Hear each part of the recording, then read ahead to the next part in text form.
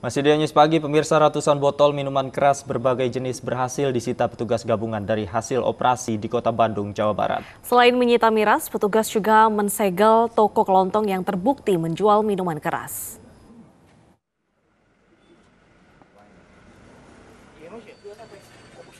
Petugas gabungan terdiri dari TNI, Polri, dan Pol PP Kota Bandung, Jawa Barat Senin malam menggelar operasi penyakit masyarakat di wilayah hukum Kota Bandung.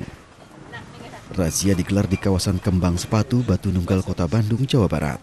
Salah satu toko jamu yang diperiksa diketahui menjual miras. Saat diperiksa, petugas mendapati ratusan botol miras berbagai merek dengan kadar alkohol tinggi. Oleh petugas, ratusan botol miras akhirnya disita dan dibawa ke kantor Pol PP Kota Bandung.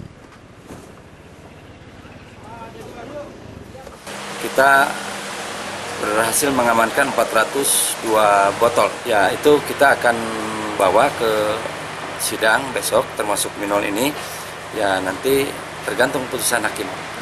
Ya. Uh, kalau sanksinya sudah jelas. Minol di pada 11 2010 tentang pelarangan pengawasan dan pengendalian minol beralkohol sudah jelas itu. Untuk A, B dan C itu paling lama tiga bulan dan paling tinggi uh, eh, 50 juta. Tidak hanya menyita ratusan botol miras, petugas juga menyegel toko yang terkena razia karena melanggar aturan perda. Razia akan terus digelar untuk mengantisipasi masyarakat dari pengaruh minuman keras. Dari Bandung, Jawa Barat, Ervan David, iNews melaporkan.